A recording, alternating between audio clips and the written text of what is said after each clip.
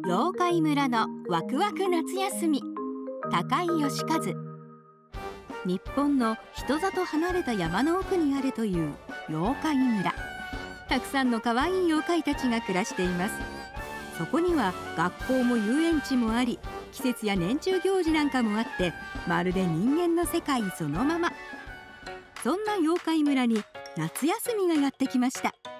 みんなが何をするのか相談しています。やっぱり海水浴だよな。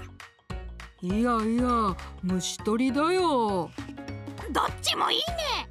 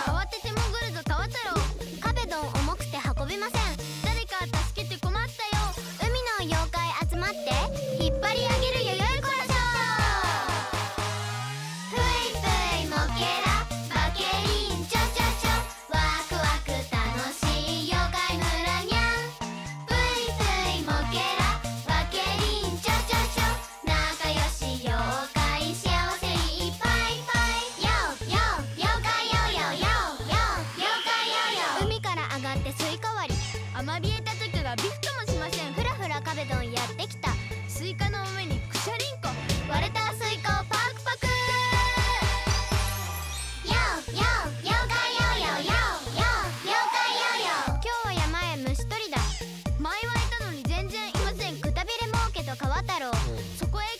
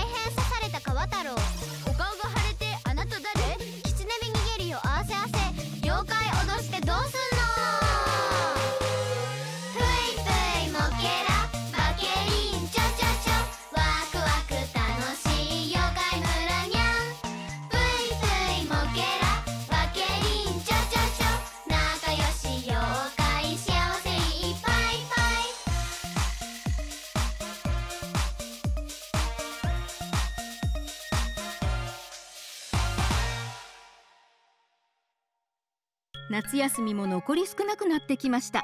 今日はみんなで晩ご飯。土の子の唐揚げ。カエルの目玉コウモリのシチューわあごちそうだするとそこにドカーンと花火が上がりました。花火に合わせて妖怪たちが踊っています